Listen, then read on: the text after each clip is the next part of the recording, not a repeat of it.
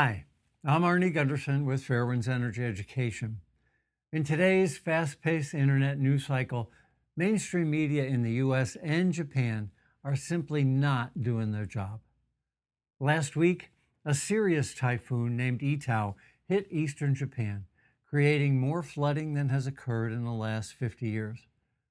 Before the typhoon hit, Tokyo Electric, TEPCO, assured the Japanese people that the Fukushima Daiichi power plant site was safe.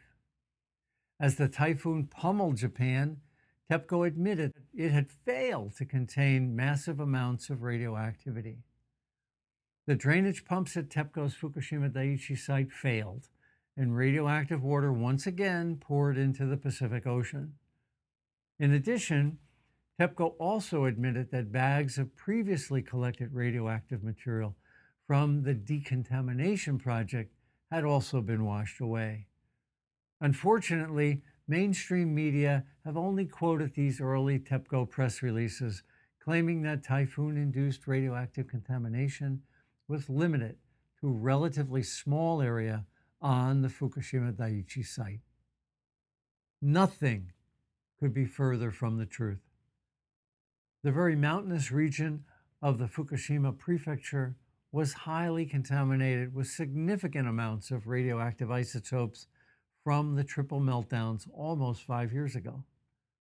Those of us who studied the disaster at Fukushima Daiichi have noted for years that an extraordinary amount of radioactive cesium, strontium, and other isotopes from these three meltdowns has spread hundreds of miles from the site of the disaster. Now, the rain that ravaged the east coast of Japan and created massive flooding has washed all of that radioactive material to new downhill locations. It's obvious to scientists who've mapped and studied Fukushima Daiichi's fallout that areas of Japan previously decontaminated have now become recontaminated. These recontaminated areas include villages and towns where people were evacuated almost five years ago when the disaster happened, and to which people have returned to live since the Japanese government has claimed that it's safe from radioactivity. Fairewinds has said it before and will say it again follow the money. TEPCO and the Japanese government do not want to reevaluate the radiation recontamination caused by Typhoon Etau's flooding because it will cost too much money. The cost to thoroughly clean up after this disaster is almost unimaginable, approaching half a trillion dollars. Spreading contamination into populated areas via this flooding is a significant health risk to the people of Japan. Why is Japan's government silent on this significant health issue? For the next 300 years, typhoon events like Etau will reoccur and will redeposit radioactivity on clean areas until all the radioactive releases during the Fukushima Daiichi catastrophe are finally washed away into the Pacific Ocean.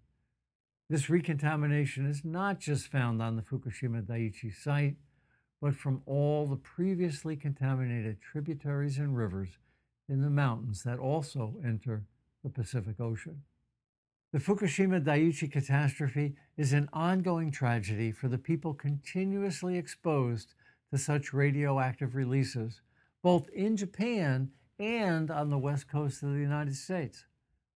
It's time for the mainstream world media to hold TEPCO and the Japanese government accountable for the health and welfare of people living in these radioactively contaminated areas. We at Fairewinds call on the Japanese government and TEPCO to evaluate the spread of radioactivity induced by Typhoon Etau and the dose impact to people living in these contaminated zones. I'm Arnie Gundersen for Fairewinds. We'll keep you informed.